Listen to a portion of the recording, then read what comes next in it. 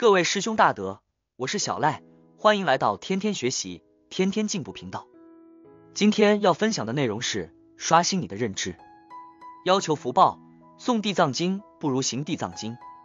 一学佛的人都知道，地藏经是公认的一部培养福德的经，但事实上，并不是在每个念地藏经的人身上都能看到明显的福报增长。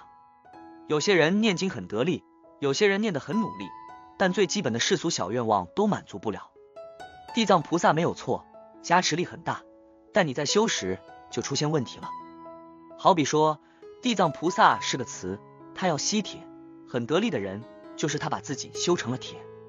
他求子求婚姻，一下子都来。那些把自己修成石头木头的人，地藏菩萨的磁力量再大也没有用。那要怎样才能更好的跟地藏菩萨感应，获得福报？怎样才能更好的得到地藏菩萨的护佑加持呢？一切答案尽在地藏经里。在地藏经第一品里面有个婆罗门女的故事。相法之中有一婆罗门女，素服深厚，众所亲近，行住坐卧诸天卫护，其母信邪，常亲三宝。是时圣女广说方便，劝诱其母，令生正见。而此女母未全生性，不久命中，魂神堕在无间地狱。十婆罗门女之母在世不信因果，既当随业必生恶趣，遂卖家宅，广求香华及诸供具，于仙佛塔寺大兴供养。见觉华定自在王如来其形象在一寺中，塑化威容，端严必备。十婆罗门女瞻礼尊容，备生敬仰，私自念言：佛名大教，具一切智。若在世时，我母死后，倘来问佛，必知处所时。婆罗门女垂泣良久，瞻恋如来，忽闻空中声曰：“泣者圣女，勿至悲哀。我今是汝母之去处。”婆罗门女合掌向空，而白空曰：“是何神德，宽我忧虑？我自师母以来，昼夜依恋，无处可问知母生界。时空中有声，再报女曰：我是汝所瞻礼者，过去觉华定自在王如来，见汝一母，备于常情众生之分，故来告示。婆罗门女闻此声已，举身自扑。肢节皆损。二，经常读地藏经的同修对这段经文应该不会陌生。不过对大多数人来说，这段经文讲的不过是一段婆罗门女的故事而已，读过就读过了。其实不然，我们都去过寺院，都拜过佛，但没人真的就见过神佛现身。但在这段经文里，婆罗门女不仅赶得过去觉华定自在王如来现身，而且得到了自在王如来的亲自指点。凭什么？有人会说，这是因为婆罗门女把家里的房子都卖了，在仙佛塔寺大兴供养，供养有供养的功德福报。但显然这不是觉华定自在王如来现身的原因，否则的话，那么多在寺院做大供养的善行，怎么不见赶的佛菩萨现身？供养的多，佛菩萨就现身？你还真的是有点误会。经文说了，见汝一母，备于常情众生之分。过来告示，看到婆罗门女思念自己母亲的程度，远远超过其他众生，这才是觉华定自在王如来现身的原因。什么是加持？这才是真正的加持。什么是保佑？这才是真正的保佑。婆罗门女母还在世的时候，她就广设方便，劝诱其母，另生正见。面对父母不信佛，甚至是造业，我们很多人要么就是埋怨，要么就是愤怒，要么就是硬顶。善巧方便，软言好语去劝诱父母，不存在的。婆罗门女广设方便劝诱其母，但她的母亲并不大接受。不久命中后，她知道母亲可能去不了好地方，但她没有抱怨母亲没听自己的话，而是卖掉房子，广做功德，希望能帮到自己的母亲。垂泣良久，昼夜意念，举身自扑，肢节皆损。这些词真实描绘了婆罗门女在其母亲去世后的真实心境。正是婆罗门女的这些举动打动了觉华定自在王如来，可见真正孝顺的人，诸天神佛都会感动，都会护持。而婆罗门女正是地藏菩萨的过去式。我们诵地藏经，念地藏圣号，总想跟地藏菩萨感应以获得福报，你拿什么去打？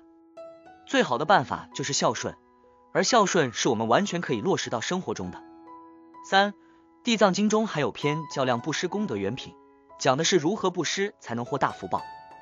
选两点说一说。先上经文，佛告地藏菩萨：南阎浮提有诸国王、宰辅大臣，大长者、大沙利、大婆罗门等，若遇最下贫穷，乃至龙残鹰哑、龙痴无目，如是种种不玩具者，是大国王等欲不施时，若能具大慈悲，下心含笑，亲手便不施，或使人施，软言未喻，是国王等所获福利，如不施百恒河沙功德之力。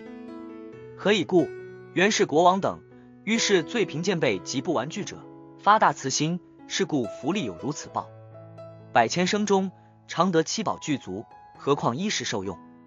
看到经文后，估计有人会说了：亲，这段经文说的是国王、宰辅大臣的布施功德，最不济也是大婆罗门，好不？我们是谁？我们不过是最普通的老百姓，跟大婆罗门差的还远呢。经文里确实说的是国王、宰辅大臣等，但也并不意味着就跟我们普通人没啥关系。很多人都知道布施能得财富，其实并不是所有的布施最后都是同样的善果。这段经文说的就是什么才是最好的布施。巨大慈悲说的是对我们布施的对象心怀慈悲，下心含笑说的是面对我们布施的对象，面对那些远比我们贫穷困厄的人，心怀谦卑，没有丝毫傲慢与嫌弃。甚至还自然流露出真诚的笑容，亲手便不施，或使人施，软言未喻，要么亲手不施，要么让别人代替不施，还要好言好语安慰他们。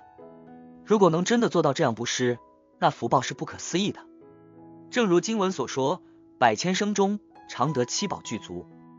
坦白说，我们可能确实不是大富长者，但生活中一定会有远比我们贫穷、困难的人。对这些人。我们是不屑一顾，略带嫌弃，还是心怀慈悲的去布施？布施的时候，我们能做到下心含笑吗？还是板住个脸，面无表情？我们能好言好语安慰他们，给到他们精神上的慰藉吗？很多人以为布施就是把钱给出去了就行，其实这只是最浅层的布施。原是国王等，于是最贫贱辈及不玩具者，发大慈心。是故福利有如此报，大慈心才是让你的布施能获得最大福报的真正秘诀。这个世界上有的人可能连布施这个词都不知道，但在偶然的机缘下，出于大慈心做了件大善事，命运就得以彻底改变。这样的事也真真切切发生过。在孝量布施功德原品里，还讲到了一个回向的问题。经文是这样说的：如是善事，但能回向法界，世人功德，百千生中受上妙乐。如但回向自家眷属或自身利益，如是之果，即三生受乐，舍一得万报。这里讲了两个回向，一个是回向法界，一个是回向自家眷属或自身利益。前者的功德可以百千生中受上妙乐，后者是三生受乐。一个是百千生，一个是三生，一个是受上妙乐，一个就是受乐，差异不可谓不大。我有的时候就在纳闷。难道就因为嘴上回向的不同，果报就相差这么大吗？不就是回向时说的话不一样而已吗？后来算是明白了一点，这个回向的不同，其实并不是简单的回向的对象不同，真正重要的是心量的不同。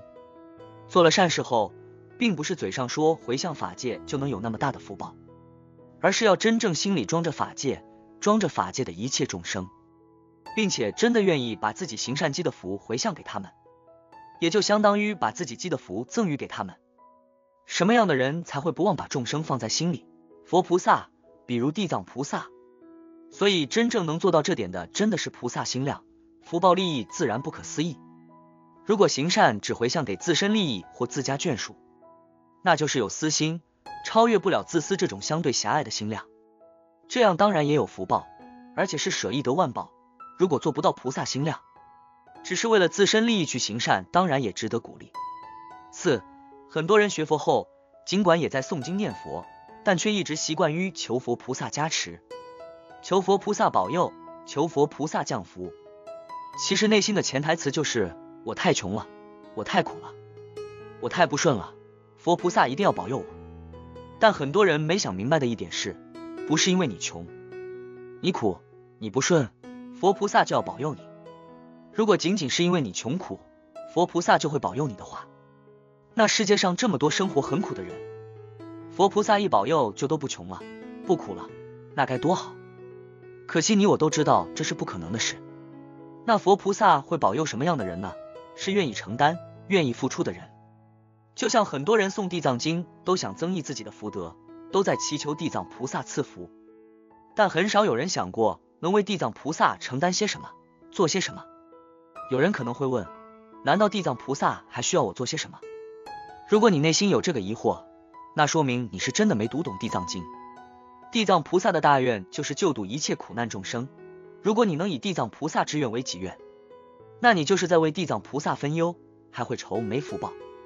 当然，如果你说你没那么高尚，就想赔点福报，那就退而求其次，在诵经之余，多向地藏菩萨学习吧，学习地藏菩萨的孝顺，学习地藏菩萨的无私，学习地藏菩萨的付出，用心去做的话，压根不会缺福报。